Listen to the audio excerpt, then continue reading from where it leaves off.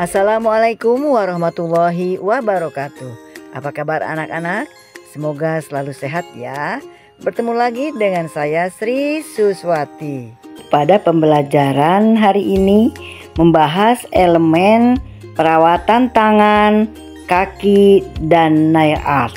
Dengan capaian pembelajaran, peserta didik mampu memahami konsep dasar perawatan tangan, kaki, nail art atau penambahan kuku atau nail extension dan menghias tangan serta menerapkan proses kerja pelayanan jasa pada proses kerja perawatan tangan, kaki, nail art, penambahan kuku atau nail extension dan menghias kuku sesuai prosedur operasional standar industri. Adapun tujuan pembelajaran nail art, peserta didik memahami penambahan kuku atau nail extension.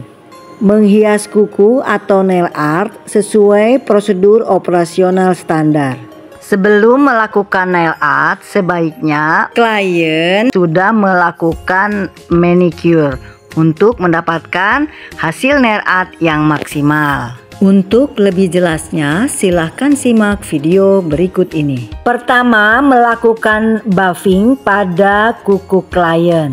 Kedua, mengukur panjang kuku palsu, memotong, dan membentuk kuku palsu sesuai keinginan klien.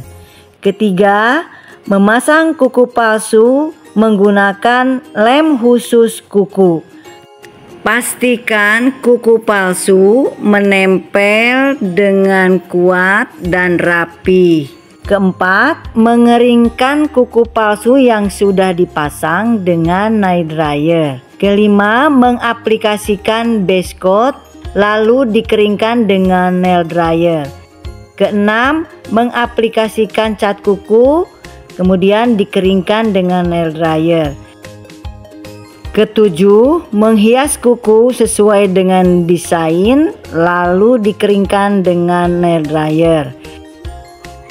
Kedelapan, mengaplikasikan top coat lalu dikeringkan dengan nail dryer. Jika akan memakai rhinestone sebaiknya dipasang setelah mengaplikasikan top coat karena jika dipasang sebelum top coat akan mengurangi kilau dari rhinestone tersebut. Ini adalah hasil dari pemasangan kuku palsu dan merias kuku.